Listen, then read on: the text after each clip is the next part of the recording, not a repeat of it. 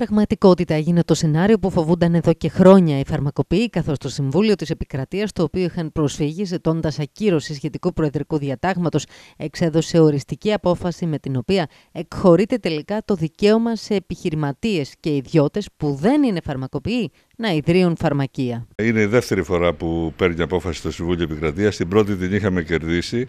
Αυτή τη φορά έβγαλε απόφαση ότι οι ιδιώτες μπορούν να ανοίξουν ε, ε, φαρμακείο με υπεύθυνο φαρμακοποιό έχοντας το 33% σαν ποσοστό συμμετοχής. Αυτό για μας είναι απαράδεκτο. Δεν ε, θα επιτρέψουμε ποτέ ιδιώτης μη φαρμακοποιός να ανοίξει φαρμακείο, διότι το φαρμακείο δεν είναι ένα οποιοδήποτε κατάστημα. Ε, θα είναι πολύ σοβαρό για την υγεία του κόσμου εάν μπουν οι ιδιώτες στο χώρο του φαρμακού και στα φαρμακεία.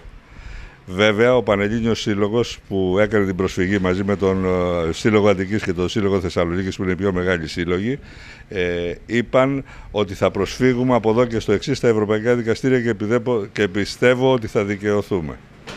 Τα προβλήματα που αναμένεται να προκύψουν πολλά και σε πολλές κατευθύνσεις. Το φάρμακο δεν είναι ένα οποιοδήποτε εμπόρευμα. Είναι αγαθό καταρχάς, το οποίο εάν το έχει ανάγκη ο επιστήμονας φαρμακοποιός θα το δώσει, αν δεν το έχει ανάγκη δεν θα το δώσει ο επιχειρηματίας μπορεί να θέλει να πουλήσει όσο το δυνατόν περισσότερα πράγματα για να βγάλει περισσότερα κέρδη. Ο επιστήμονας φαρμακοποιός δεν το κάνει αυτό. Η απόφαση αυτή βάζει βόμβα στα θεμέλια του επαγγέλματος του φαρμακοποιού, όπως λένε οι ίδιοι, καθώς πλέον θα μπορεί να ανοίξει φαρμακείο ο κάθε ιδιώτης που δεν είναι σχετικός με την επιστήμη του φαρμακοποιού, με στόχο, όπως βλέπουν, να κλείσουν τα μικρά φαρμακεία. Θα μπουν μεγάλα συμφέροντα και μπορεί να καταλήξουμε σε αλυσίδες φαρμακείων και ούτω καθεξής. Δηλαδή, ο απότερος σκοπός είναι αυτός. Να κλείσουν τα μικρά φαρμακεία και να μείνουν λίγα στις, στο, στα κέντρα των, των νομών ας πούμε.